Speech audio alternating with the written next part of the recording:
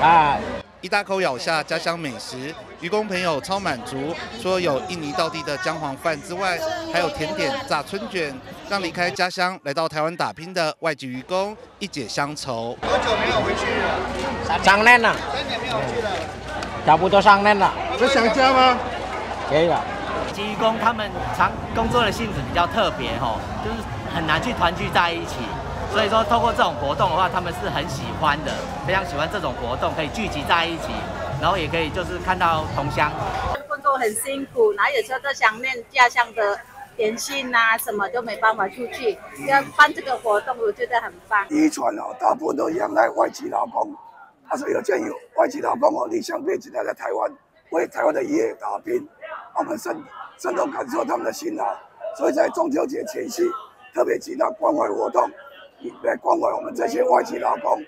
在这中秋月圆人团圆的日子，金融区域会和渔业署举办了关怀同乐活动。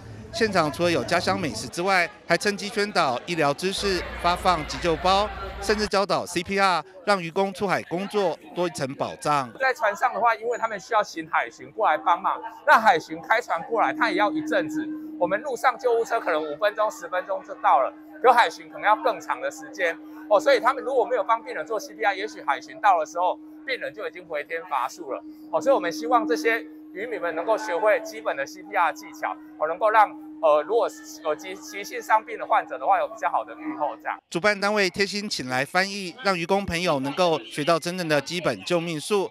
除此之外，还有意检政策宣导以及劳动权益认知课程。他们来这边，平常工作很辛苦，有些急救方面的。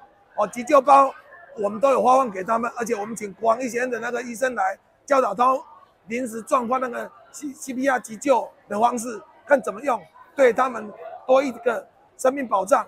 哦，如果发生什么状况的时候，也要马上处理。